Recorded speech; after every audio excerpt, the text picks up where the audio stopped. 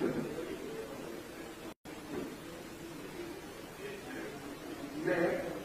माननीय राज्यपाल महोदय से कार्यवाही आरंभ करने की अनुमति मैं माननीय राज्यपाल महोदय से अनुरोध करता हूँ कि वे श्री श्री राजेश गोवा को हिमाचल प्रदेश राज्य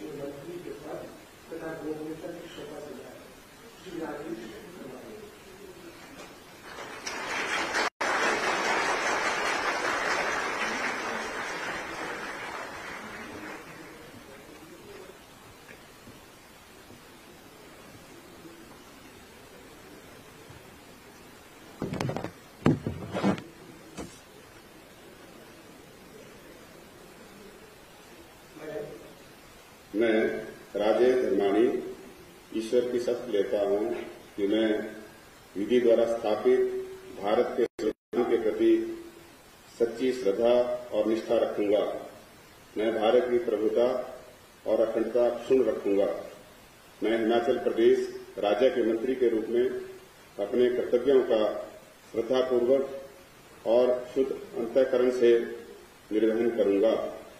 तथा मैं भय या पक्षपात अनुराग या द्वेष के बिना सभी प्रकार के लोगों के प्रति संविधान और विधि के अनुसार न्याय करूँगा।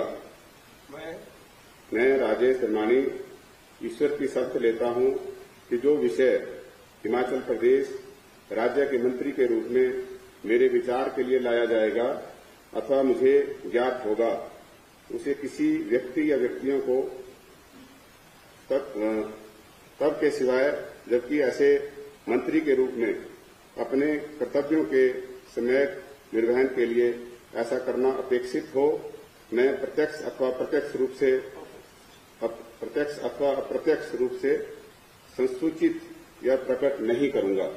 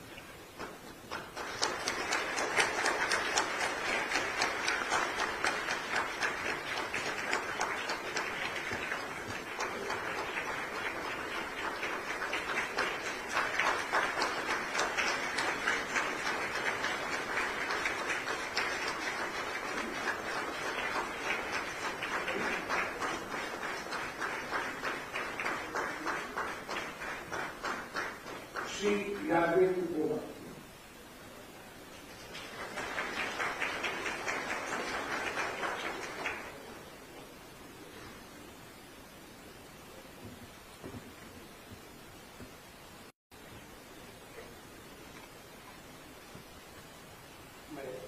मैं यादविंदर गोमा ईश्वर की शपथ लेता हूँ कि मैं विधि द्वारा स्थापित भारत के संविधान के प्रति सच्ची श्रद्धा और निष्ठा रखूँगा।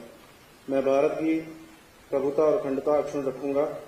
मैं हिमाचल प्रदेश राज्य के मंत्री के रूप में अपने कर्तव्यों का श्रद्धापूर्वक और शुद्ध अंतकरण से निर्वहन करूँगा तथा मैं भय या पक्षपात, अनुराग या द्वेष के बिना सभी प्रकार के लोगों के प्रति संविधान और विधि के अनुसार न्याय करूँगा। मैं यादविंदर गोमा ईश्वर की शपथ लेता हूँ कि जो विषय हिमाचल प्रदेश राज्य के मंत्री के रूप में मेरे विचार के लिए लाया जाएगा अथवा मुझे ज्ञात होगा। उसे किसी व्यक्ति या व्यक्तियों को तब के सिवाय, जबकि ऐसे मंत्री के रूप में अपने कर्तव्यों के समय निवहन के लिए ऐसा करना अपेक्षित हो, मैं प्रत्यक्ष अथवा अप्रत्यक्ष रूप से संसूचित या प्रकट नहीं करूँगा।